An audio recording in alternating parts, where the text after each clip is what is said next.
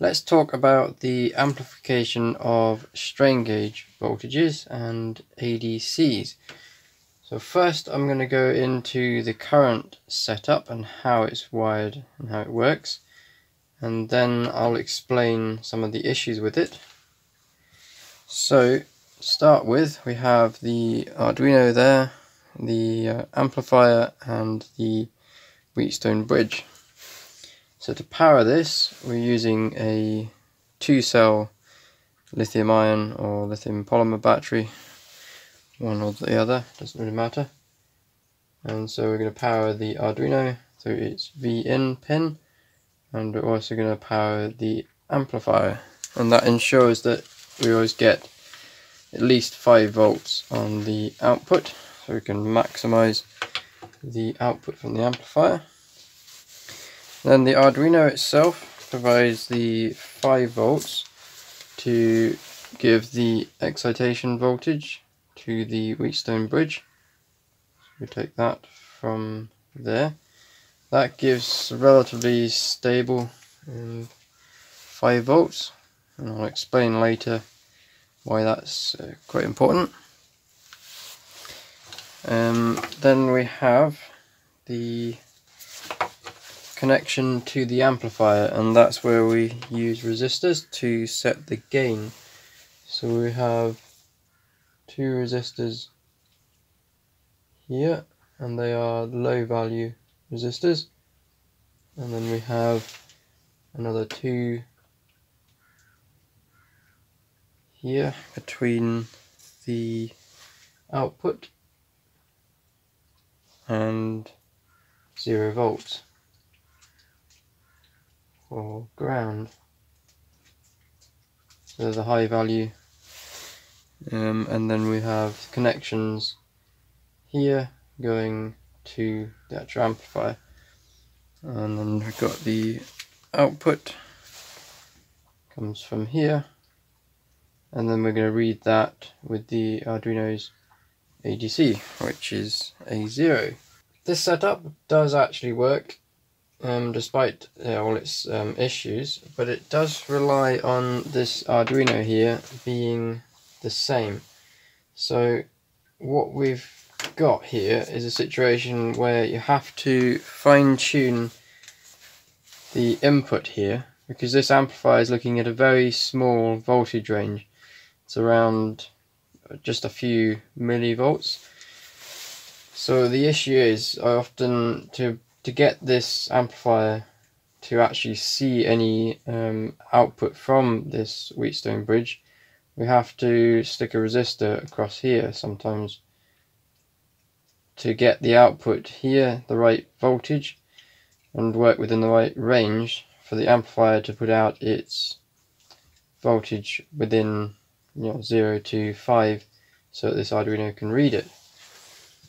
Now the issue with this is that the output of the Wheatstone bridge is highly dependent on this excitation voltage, this 5 volts. So of course if I swap the Arduino, you might get a slightly different voltage, and so the output from the Wheatstone bridge goes out of where the amplifier can see it and amplify it.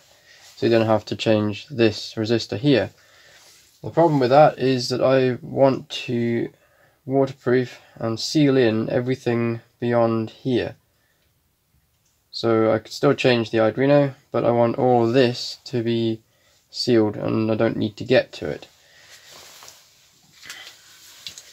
So my plan was to use, for start, we've got the VREF pin here on the Arduino, so you could feed in, I was going to feed in a um, regulated voltage of say 3.3 volts or even lower or maybe even one and a half.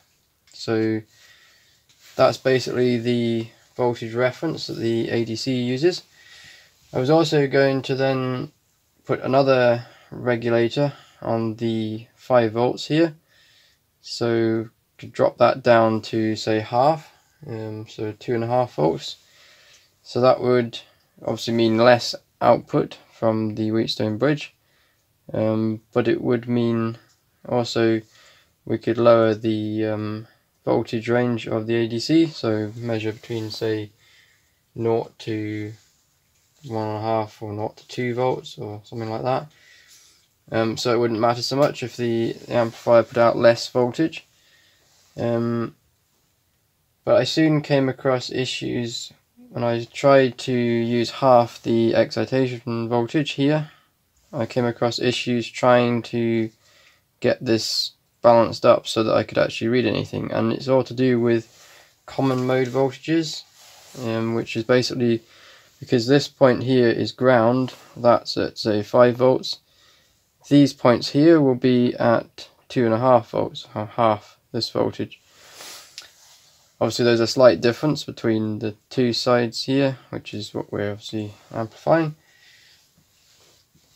I'm not that sure about common mode voltages and how you deal with them with amplifiers but basically some of that voltage gets amplified and so the result here is at the Arduino's ADC we're probably measuring I can't remember exactly it goes from about half a volt up to 5 not 0 to 5 then attempted to create this circuit but my lack of knowledge and precision resistors meant I didn't really get very far with it, and so the HX711 was just too tempting.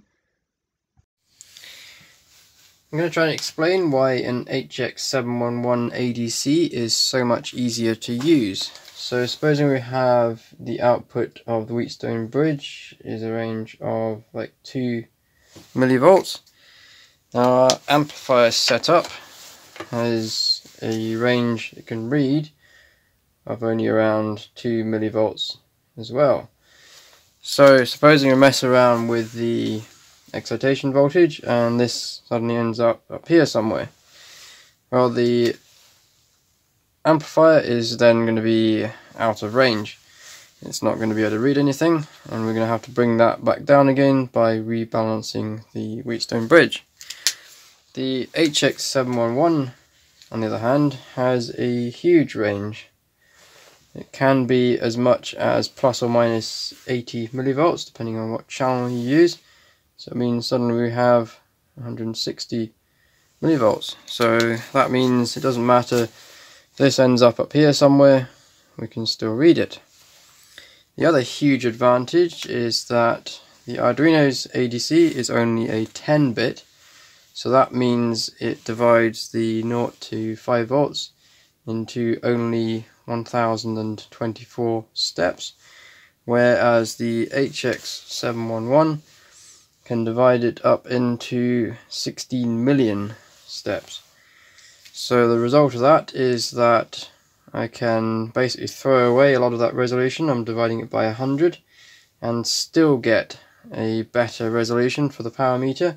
It's around 10-15 grams instead of 120 to 150 grams I was getting with the Arduino's ADC.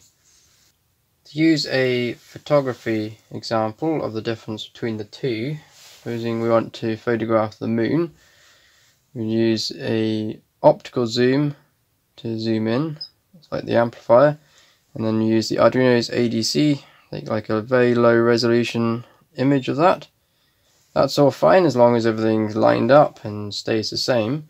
But the HX711 instead doesn't zoom in as much, but it then takes a really high resolution image of a much larger area.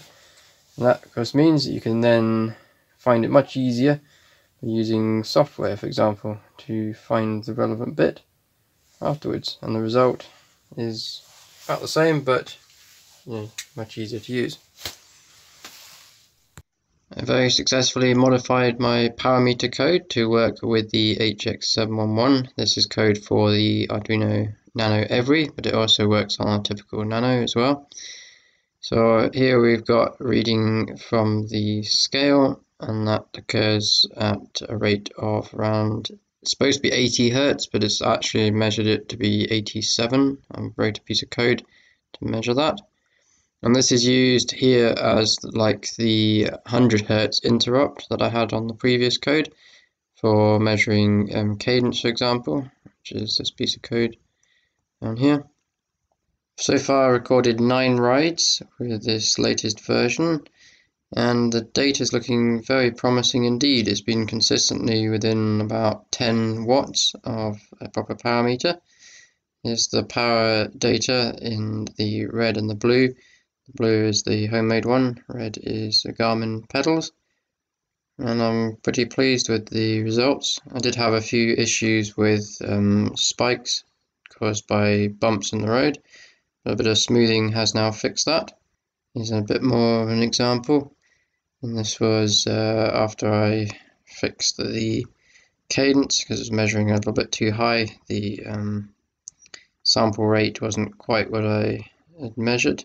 So on 85 hertz instead of 87 so I've sorted that out as you probably noticed in the code.